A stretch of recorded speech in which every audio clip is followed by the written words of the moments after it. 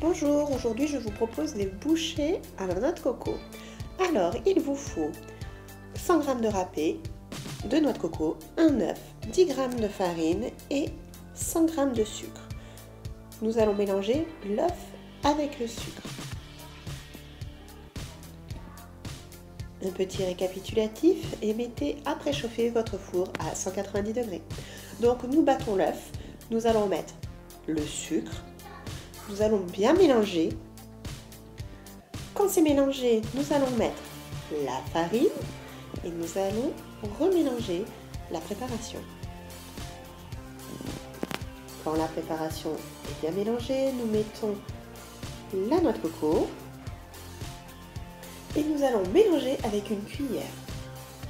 Ça va faire une pâte un peu consistante.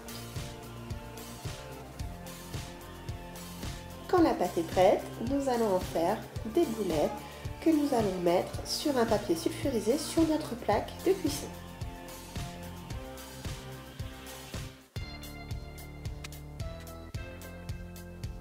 Donc n'en faites pas trop car ça va s'étaler un peu.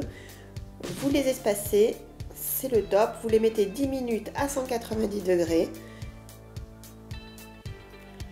Quand vous passé 10 minutes à 190 degrés. Vous laissez 5 minutes de repos pour que ça refroidisse parce que c'est quelque chose qui va être mou. Et après, vous pouvez les décoller de la plaque et les mettre dans une petite assiette. Merci d'avoir regardé la vidéo. À bientôt. Au revoir.